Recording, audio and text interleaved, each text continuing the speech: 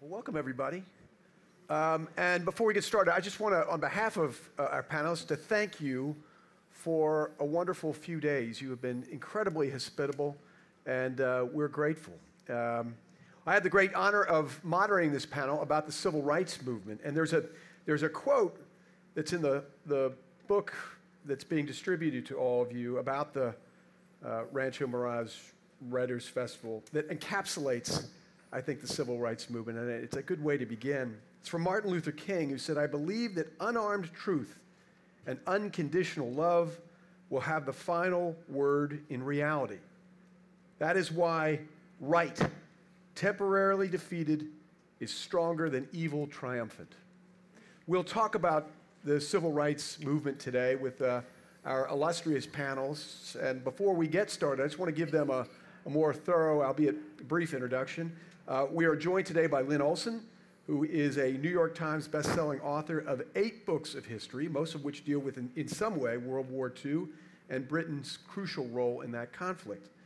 Secretary of State Madeleine Albright has called Lynne one of our era's foremost, actually, make that our era's foremost chronicler of World War II politics, politics and diplomacy.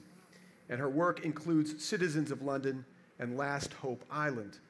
Emily Yellin is a reporter, author, and producer, and a longtime contributor to the New York Times. She's also written for uh, Time, The Washington Post, the International Herald Tribune, and other publications. She's the author of two books. Your call is not that important to us. How true is that? and uh, a session that she did uh, earlier on her, her book, uh, Our Mother's War. She, she mostly writes about the South, race, and women's issues. And Doug Brinkley is a professor of history at Rice University, CNN's presidential historian, and a contributing editor to Vanity Fair. The Chicago Tribune has dubbed, Doug one of oh, sorry, America's new past master. He is the author of so many books, it puts authors like me to shame. In fact, by the time we end this session today, he may well have included, completed another book. Uh, among his books are Cronkite, which won the Sperber Prize, and The Great Deluge, Hurricane Katrina in New Orleans, and the Mississippi Gulf Coast, which received the Robert F. Kennedy Book Award. He's also the editor of the Reagan Diaries. So it's a pleasure to be with you all today. Uh, Doug, I want to start with, yes, please. Doug, I want to start with you. Frame for us, if you would, the civil rights movement of the post World War II period. Where does it begin? Where does it end? And what are the milestones in between?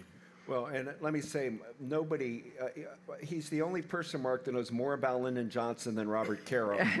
Truly, he does. And, uh, and George Bush and many other presidents. He's one of our best presidential historians.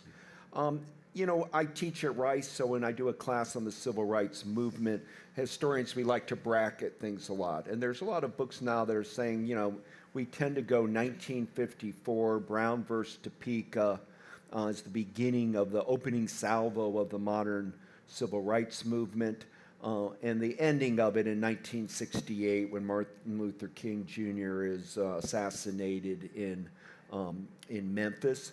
Um, those are brackets. One can argue that the history of civil rights, when you're, you know, can pick up at any different point in World War II. Uh, we are talking about Dwight Eisenhower mixing blood supplies of white and and, and African American soldiers, or you can pick up many hotspots. But 54 is the big one uh, because once the Brown decision came in, it said the federal government was going to be against Jim Crow.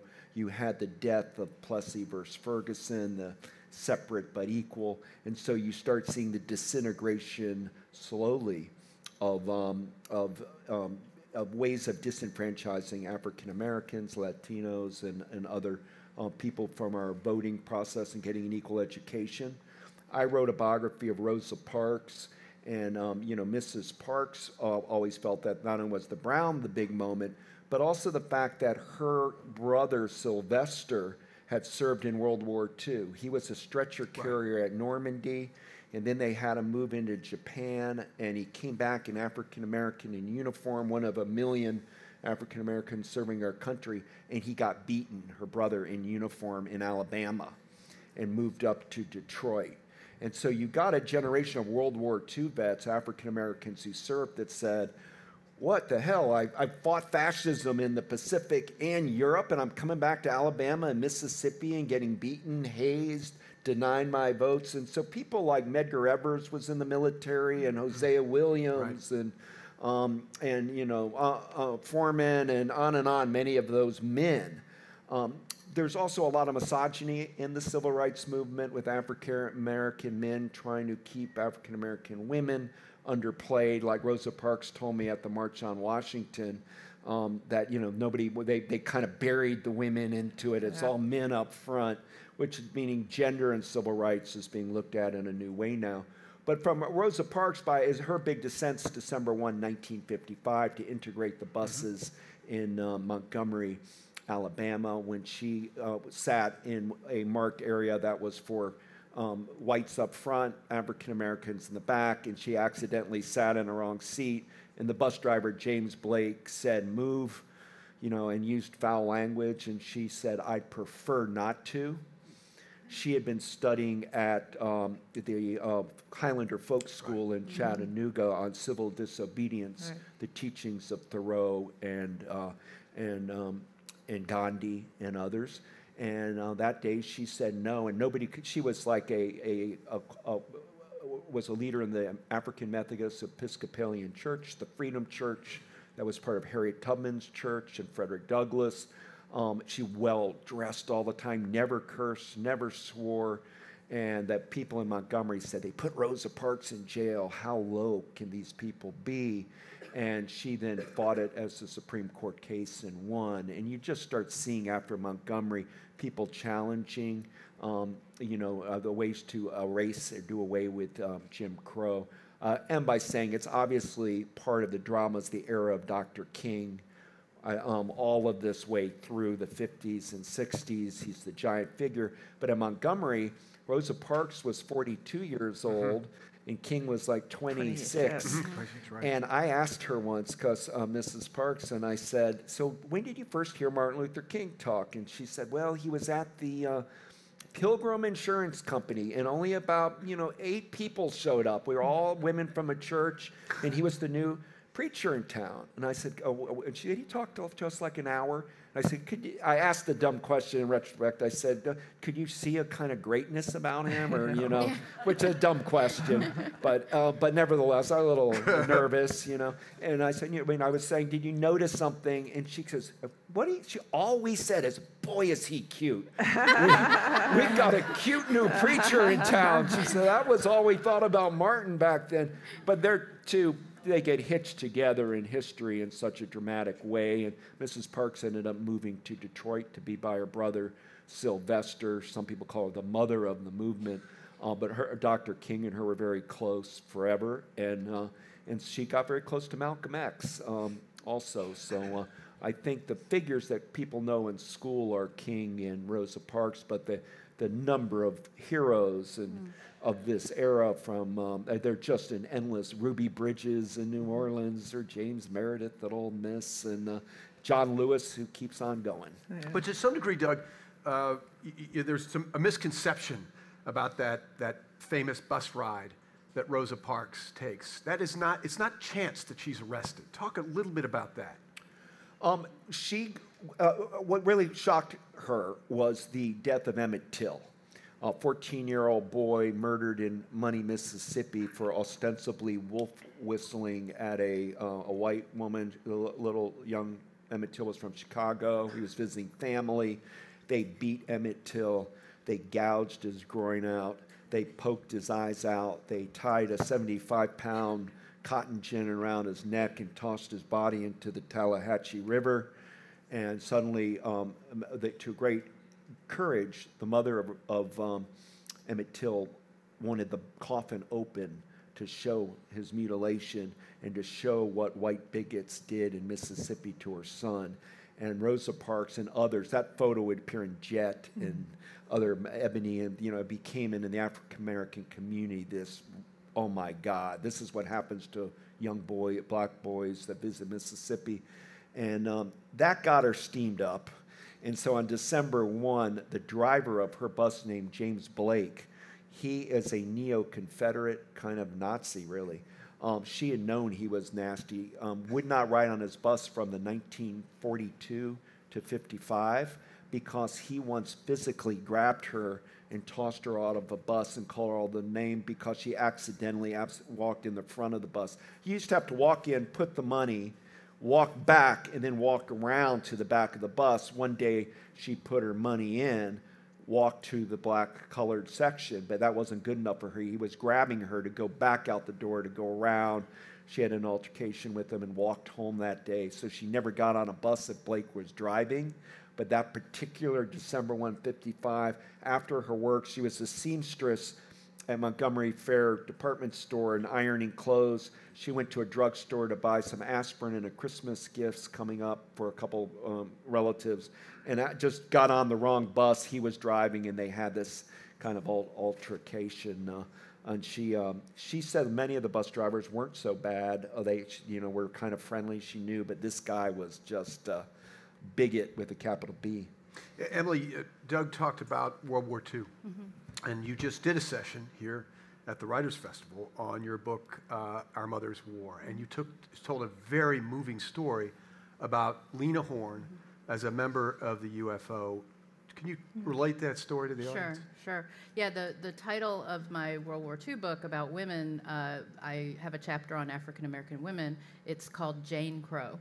And uh, that was uh, Pauli Murray, who was a great feminist and, and civil rights activist, uh, came up with that because women had double, you know, double challenges. Um, Lena Horne was a performer with the, uh, with the USO, of course, and she was performing in Fort Riley, Kansas and uh, she was told, You'll perform tonight and uh, you'll be in the auditorium, and then tomorrow morning you'll perform in the mess hall because the African American soldiers aren't allowed in the auditorium on the, on the base. Um, so she said, and this goes to Rosa Parks and what you said about the bus, she said, One of the problems with segregation, it was so inconvenient. And so she had to get up at 8 in the morning, so she did it and she looks out at the audience before her performance in the mess hall at 8 a.m. and she notices that the black soldiers are there, but the three rows in the very front are white soldiers or white white men. And she said, "What's that?" And I said, "Oh, that's the German POWs." And she thought, she didn't perform. She said, I can't do this. And she walked out and she marched over to the NAACP office in Kansas, in Fort Riley, and met Daisy Bates, who was one of the leaders in the uh, Little Rock school integration. And from then on, she had enough money and enough power. She quit the USO and she did her own tours and insisted they be integrated. So that was one of those small moments, but it was pretty huge. the, the, civil rights movement is very personal to you. Your parents moved from New York City to Memphis, Tennessee, your hometown, in order to get involved in the movement. They were on the front lines of the civil rights movement. Uh, talk about the civil rights movement from your personal perspective. Okay. Yes, we lived in New York City. All of us were born. My brother Doug is here, one of my favorite Dougs. Um, and um, and uh, in 1964, my father moved to Memphis to start the film and television department at Memphis State University. And um, their friends in New York said, Memphis, that's kind of like joining the Peace Corps, but you don't have to leave the country. and um, it turns out uh, they they arrived, and it was three. We arrived. It was three weeks after Goodman, Schwerner, and Chaney were found, and we're half Jewish. And when we were at a gas station, my mother tells the story. I was very young, so I don't remember. But we were at a gas station before we went to our new home, and we had New York plates. And my mother was being very friendly and said, "Oh, you know, we've moved here from New York." And the gas station attendant said, "You better get rid of them New York plates." and so that was the start. That was our welcome to Memphis, 1964. Yeah, August 1964. And um, which then, is a seminal time. The, yeah. the the very month that Freedom the or, or, the month before the Civil Rights Act of 1964 mm-hmm. was signed, breaking the back of mm-hmm. Jim Crow. And my mother uh, was quoted um, in our family as saying uh, she wanted to be there when the South woke up. She had grown up in Oklahoma, so she had known Jim Crow growing up. So we were. Um, I don't know if it's woken up yet, though. Um, but uh, we lived there, and in 1968, my brother Doug, who's right here, was 11. I was six, and we were watching television. It was six o'clock in the afternoon on a Thursday, and all of a sudden, about five after, I got used to this growing up as a kid in the 60s. Um, a special bulletin comes on and says Martin Luther King has been shot downtown. And my brother Doug yells to my father, Dad, Martin Luther King was shot and my, my other brother had been outside in the car washing the car or something and he had the radio on and he comes running in and he says martin luther king was shot. And then our housekeeper because at the time everyone had an african american housekeeper. We were taught not to call her a maid. That was our biggest concession. Um, and she called and i answered on the other phone and i heard her screaming into the phone miss yellin they shot dr king so I went up to my father and I said, Dad, who is Martin Luther King? And by this time he had died, and he looked at me and he said, He was a great man, Emily. And so they often say that the civil rights movement ended in 1968. And for me, that's when it began, mm. really. Mm. And growing up with that, I was in school with James Lawson's son, and he was one of the uh, leaders of the sanitation strike, which is why Martin Luther King was in town. And I was in first grade with him. And in our class, they handed out a weekly reader. Does everybody remember the weekly reader? weekly a lot of a lot of audiences don't these days. Um, and uh, they handed out the weekly reader. His picture was on the front, and apparently some of the students drew horns on on him. Mm-hmm. Wow. Because I went to a school that was mostly white, but some of the black ministers, leaders of the civil rights movement in Memphis, kids went there. And um, the teacher took him up and said I couldn't send them home that way. So that was kind of the beginning, and then you want me to keep going? Well, uh, let me get back to that. Okay. And we'll come back to, to sure. 1968 in a moment. I, I, referenced earlier Lynne's books on World War II, uh, which she's spoken about at the conference. She, she's also wrote, written a, a, marvelous book on the role of women in the civil rights movement called Freedom's Daughters. Uh, and women book. are often overlooked in the civil uh, rights movement. Talk about the role that women play. Oh, women, women led the movement in a way. I mean, they organized it. Um, Freedom's Daughters is, is starts even before the time Doug is talking about. It starts really in the late 1800s, early 1900s, and goes, you know, basically to the 60s. Um, we've been talking about Rosa Parks. Um, actually, that Rosa Parks was was is the preeminent figure in in what happened in Montgomery, but it was women who who organized that. A group of professional black women, African American women in Montgomery, were looking for a woman like Rosa Parks mm. to have that encounter on a bus. They were planning for months to have that happen. Not necessarily that Rosa Parks, in fact, there were two other young women who, who were also uh, basically thrown off the bus or told to go to the back of the bus. Um, but their, their uh, stories weren't what they wanted. They wanted somebody like Rosa Parks. And it was this group of women who were planning this. So once they found out it was this, you know, what Doug was talking about, oh my God, Rosa Parks has been arrested. And these women were jumping up and down with joy. I mean, they didn't want her to, she, she, she was not in prison, she was booked and then uh, released. And virtually from the moment they learned about that, they put into motion their plan for a boycott. That boycott had been planned for months, if not years.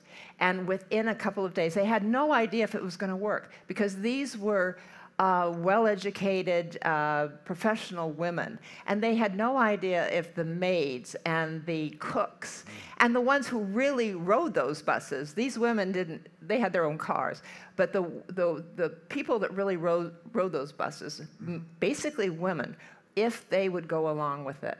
And I talked to a number of the women who were still alive when I was uh, doing research for the book who had arranged this boycott, had worked on the boycott. And they woke up Monday morning after Rosa Parks' um, arrest, you know, with kind of fear in their hearts that, that, that, and they looked out and they walked the streets and nobody was riding, riding the buses. And they continued that way for months and months and months. And this took great courage on the part of these women because they had to go to their jobs and they were walking um, they were walking sometimes nine, ten miles each way to get to their jobs, but they continued doing it. And so the story, and, and, my, my book is really about how women were uh, the engine of the movement. There's no question. If, if women had not been involved, the movement would not have succeeded the way it did um, in terms of um, what was accomplished. I mean, Martin Luther King is absolutely um, the major figure of the movement, but if he had not had those women, I mean, he was in front. He was always in front. The male ministers were always in front, but it was the women who were really organizing and really doing the work. And in virtually every town, city, wherever, from Albany, Georgia to um, to Atlanta to to Mississippi and Alabama, you know, it, it was grandmothers. It was it was the women, the women who were out there risking their lives as well as the men. And there was a reason for that. Women could get away with more than black men. I mean, black men always were at terrible risk, um, and. Uh, but they, they never got the credit, and they never really sought the credit. Uh, most of them, they were they were content to have the men out in front. But uh, Doug can speak to this more than I can, better than I can. But I, Rosa Parks, I think, did resent the fact that she was that she was a symbol. Right. Um, but she was more than a symbol. She had been an activist, a civil rights activist for all of her life. Um, and Secretary for the NAACP, right? I mean, yeah, she, she right, was secretary of the local do- NAACP. She was really important, and and the idea that that she was a tired old seamstress who just didn't want to get up from the seat is crazy. Right. I mean, she wasn't old for one thing. And she, and she said, I was tired, but no more tired than I was every other day. Yeah, Um, or and, else. Um, and so uh, I'll just close on this. I, I interviewed Stokely Carmichael just before he died, and um, I asked him about the role of women, and he basically said, he, he said, women were the movement. He said, without women, Stokely Carmichael obviously started with SNCC, Student Nonviolent Coordinating Committee. He was a, a, a- major figure.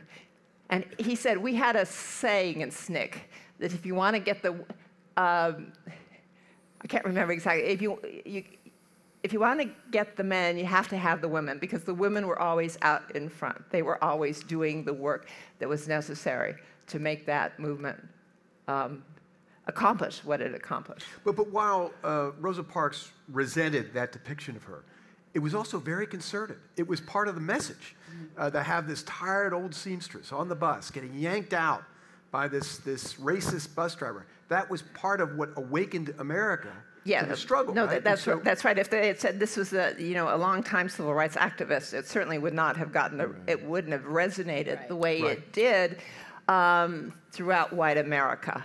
Um, but at the same time, it also you know leads to the um, kind of disappearance of her in a way. Right, right. Uh, you know that she was an activist. She was it, it, it, she wasn't you know a, a passive person. She was a very very active civil rights person. This was Yeah. not accidental. It was any means. not Right. accidental by any means, no.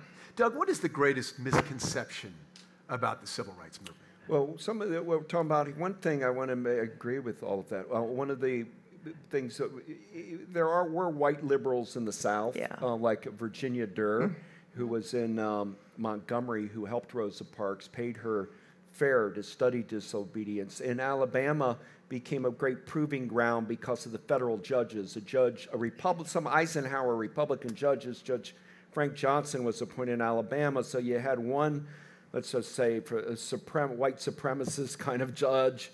You had one that was a FDR New Dealer liberal, and Ike's Republican judge started voting federal courts for all civil rights in Alabama. So Dr. King could stage a lot of stuff in Alabama. But the reason the bus boycott worked in Montgomery was the company was owned by a Chicago company, and they had integrated buses in Chicago. And as you said, when they stopped riding, when the women stopped going on the buses, they became empty. Uh, and so if you're up in Chicago, anybody here was in business, it's going on for a year and nobody's riding your business buses when you have integration in Chicago, but not in Montgomery. It became a perfect laboratory, Montgomery. And it was also not too large. You could walk hard, but you can walk. It's not Atlanta, you know. And, um, and then um, and so I think the um, other one is a misperception, or you, you t- were touching on, but like something like Claudette Colvin mm-hmm. Yes, in Montgomery, Right, she right. got Right. before Rosa Parks, just like she was saying, they were looking to implement Brown and integrate the buses, and you had Thurgood Marshall up in Baltimore and D.C. and all this. A young woman, Claudette Colvin, had her moment, civil disobedience, went on the bus, an African American woman, but she didn't get vetted because she cursed. Right. They found out she was pregnant and not married, and they didn't think she was the right symbolic Yeah, woman that's right. Right. to That's put right. forward. That's and right. so she kind of fizzled, and there was a stage.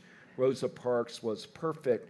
The sad part for me, guys, was I spent a lot of time with Mrs. Parks. She had me take her to get her Congressional Gold Medal um, in Washington. I would inter- be with her in Detroit. I went to church with her. Um, and the uh, sad part was when she moved to Detroit, she was broke. Just because you're famous doesn't mean you have money. And she worked in a rag factory making towels in a factory in 62 while she was going for free for the NAACP. And she had a supportive spouse named, um, um, and her spouse, she always would tell me, don't forget Raymond, because it was unusual for a man to let his woman be a kind of actress where he kind of stayed at home. And it was re, re, and they never had children. Rose Parks couldn't have children, but she loved children. End of her life, and I'll stop and get off of her, but end of her life, um, she became Buddhist. Um, she went over to Japan and ad- adopted Buddhism mixed with her intense Christianity, her love of the AME church and Buddhism. She was a very spiritually sound person um, and kind, very kind. Uh, when you write about her, some somebody might say, what, what's, tell me the dark, mean side about her. She just was a very religious, you know, some people uh, don't want to make her a saint, but, um, but yet, what you touched on, she was an activist for a long time, uh, doing cases of women raped in Alabama. And she once told me, I'm gonna, I've got to give them more mic time here, but she, she um, once told me that, so she went down to my, uh, Birmingham and she was in the audience, like sitting right here like you are, when Dr. King was speaking, and a white supremacist came up and punched King in the face. And they started grabbing him, and um, they and he was angry because Sammy Davis Jr., the black actor, was dating a white woman, and he and that's why he punched King. And King did this dramatic, nonviolent thing: "Let him alone, let him alone." Uh, well, how are you? Why did you do that? You know, this whole like talk down therapy, and he didn't want the police doing arrest charges against the guy. And Rosa Parks gave him a coke and put ice and aspirin on his face in the back. And I said, well, what did you think about all that? And she goes, oh, I just couldn't believe Martin. And I said, not the other guy. So she goes, he really believed that nonviolence stuff. and I said, Miss Farrow, I said, well, what would you have done? She goes, if somebody punched me in the face, I'd punch him back in the face. Uh, you know, so she had that feisty part of her, too, even though she, you know, and people don't realize that about her. But I- I- Emily, you talked about Martin Luther King's assassination on April 4th, 1968, in Memphis, on the, the balcony of the Lorraine Motel. We all know that, that famous image of, of Andrew Young and Jesse Jackson and others pointing at the assassin in the distance. Um, but, but Martin Luther King, we associate him, of course, with the civil rights movement. But by that time in his life, his crusade had broadened. Talk about the evolution of Martin Luther King. Yeah, well, I'm by no means a Martin Luther King scholar or anything else, but living in Memphis, you learn about Martin Luther King and you learn about Elvis. So I'm going to talk about Martin Luther King. Um, um, we'll come back next year and talk about it. yeah, Her next uh, book. yeah. Um, so what I do know, though, is he was really very involved at that time in the Poor People's March, and the whole idea of poverty and economic justice was huge. He was also very opposed to the Vietnam War, and he had spoken out a year before he was assassinated, almost exactly a year before, spoken out against the Vietnam War. And you know, it's really ironic to see, you know, this is a room full of white people, almost all of us, and um, when the memes come out on Martin Luther King Day, and you see people who you know have some racial issues quoting Martin Luther King, but what they don't quote are a lot of the things he said that were much more revolutionary. And at the time, he was thought of as a communist, he was thought of as all these things. But I think the really um, big lesson that I like to say about it is that He died defending sanitation workers. That's what he was doing. And he wasn't just there for a rally, he was there. These men were, um, there were 1,300 men. I'll, I'll go ahead with it. I, I just did a series where I interviewed all of these surviving sanitation workers and their wives and their children because I wanted to make sure that their wives were counted as well. And there were 1,300 Memphis sanitation workers who were just uh, working in horrible conditions. And two of them were killed in February 1968 because they came to work, it was raining. They aren't issued any kind of rain gear, so they had their own raincoats. And two of the men ride in the truck, and two on the back of the truck. And it was raining, and so they had to work because if they didn't work, they didn't get paid. And it was the end of the shift, and they two of them stepped inside the barrel to, to God. shelter themselves from the rain, and something malfunctioned, and they were both crushed and um, the city of Memphis uh, gave them $500, their families. Um, and, and so that was the beginning, and that was when uh, the, the men were going to go on strike, but they were going to wait till the summer because that's a better time to have a sanitation strike. In the middle of winter, it's not quite as bad, especially in Memphis in the summer, it's hot. So, but they couldn't wait. And the National Union was going to try and co opt that, but they said, no, we're going to do this. And they did it. And it was a 65 day strike. And Martin Luther King was one day he came. Uh, he, came he came and spoke once, and then he came and marched. And the march was turned around because the, they say it was a riot, but it was police violence. And police violence is an issue today, and it was an issue then, police brutality. And it was turned around. And so he was pilloried. They, there was a headline in the newspaper that said, Chicken a la King in the Memphis newspaper, because he was pilloried for turning it around. But he had to come back. He didn't want to, but he had to come back. That was in March, March 28th. So in March, uh, in, A- on April uh, 3rd, he came back to Memphis and he made the famous mountaintop speech. And that speech, I actually listened to it this morning again.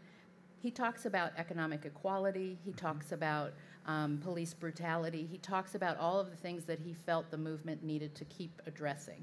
And he was planning his Poor People's March, and he felt that this was the same kind of campaign as in Montgomery. And he felt this was a real, really important thing for him to join.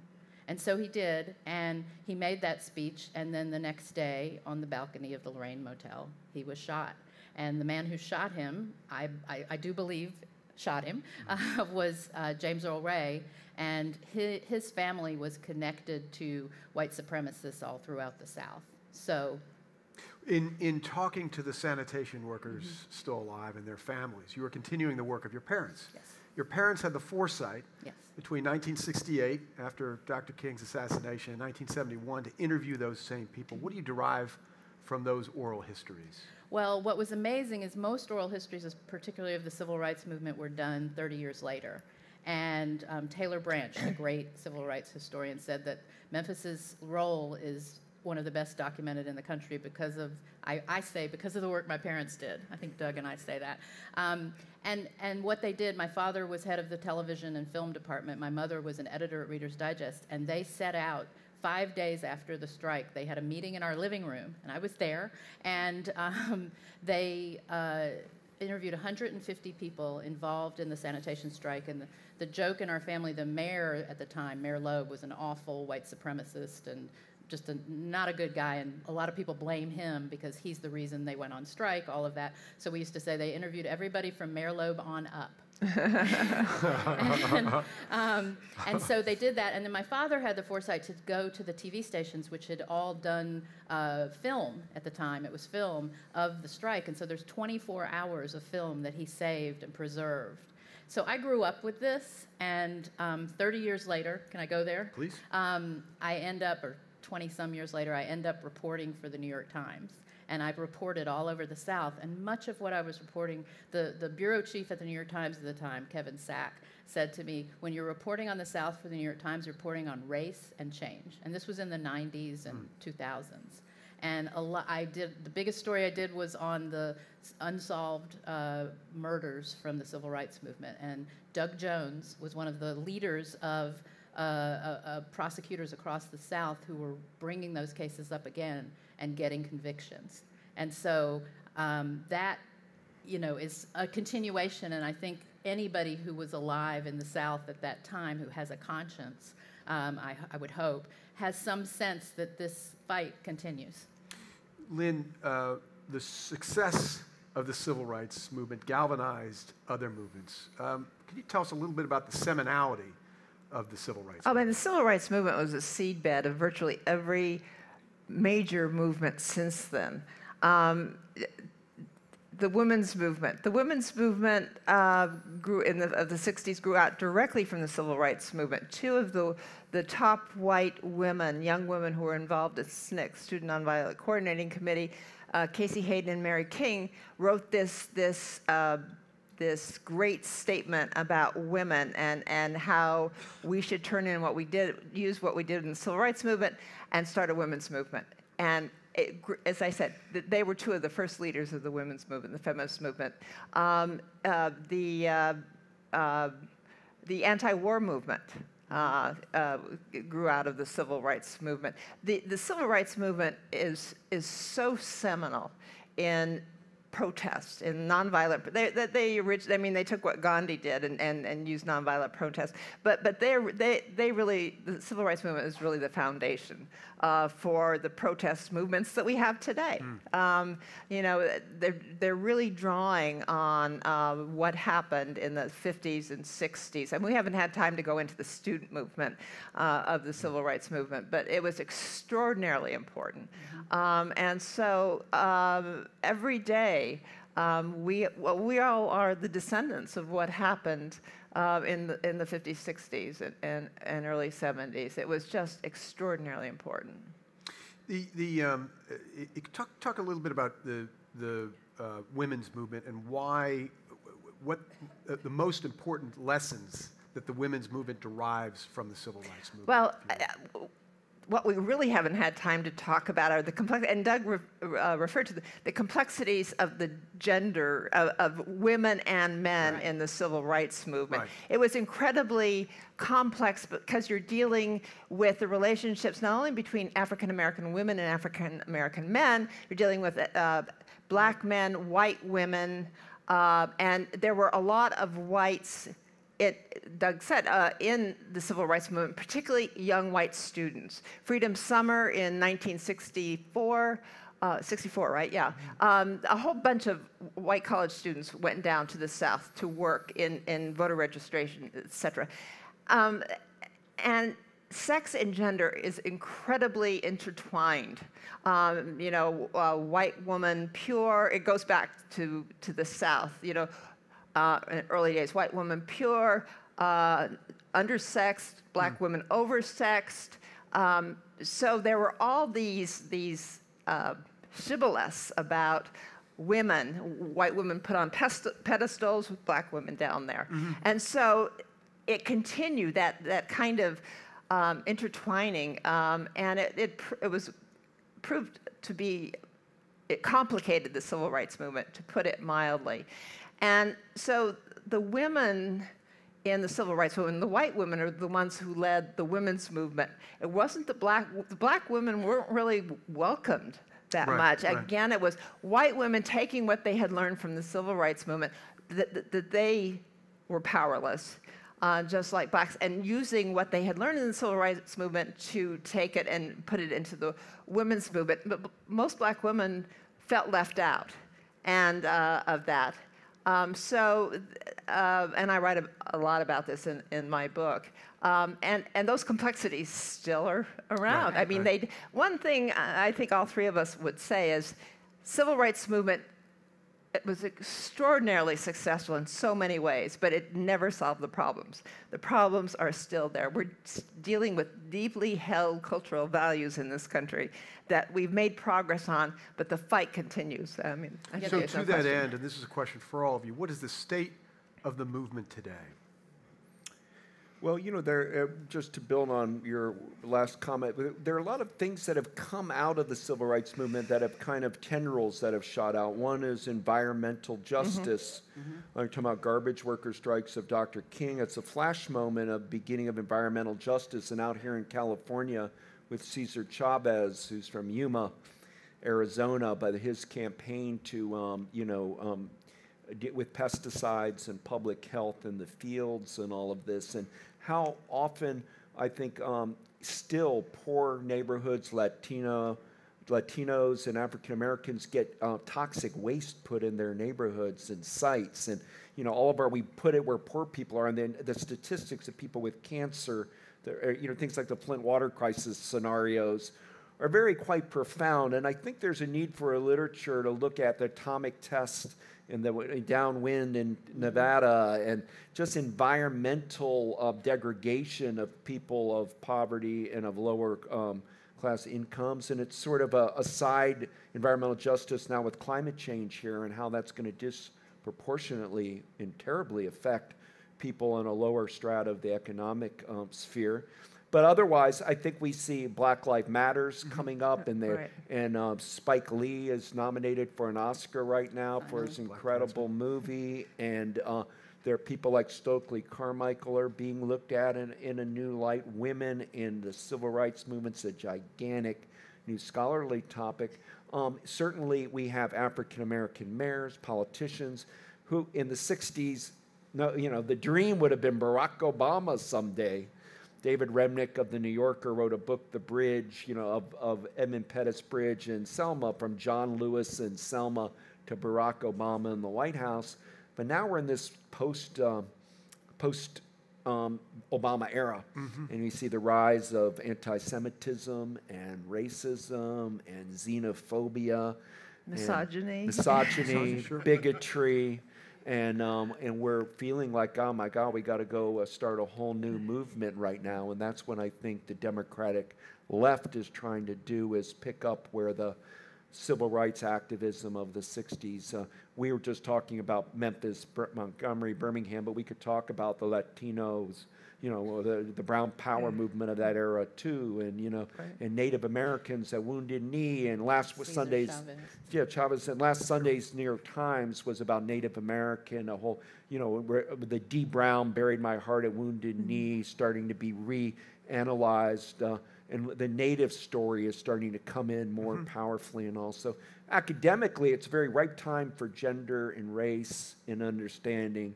But in society at large, I'm afraid we're in a very uh, um, almost neo-fascist kind of feel in the country right now. That's quite quite frightening. We've But- got, Yeah. yeah, please. C- I just, just very quickly, but the, the, the heartening thing is the resistance. I mean, Yeah. you know, which Right. is basically what the activism that has bubbled up, and we've seen it in the election um, last year.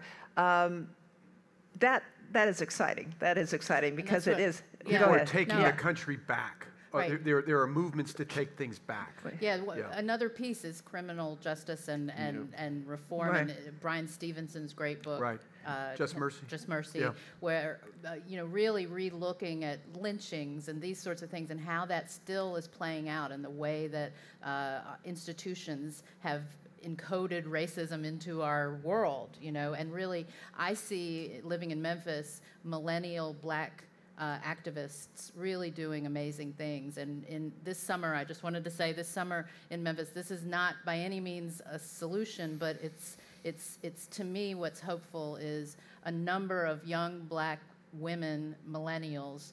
Uh, were elected. 20 black women were elected to state, city, and county government in Memphis this summer.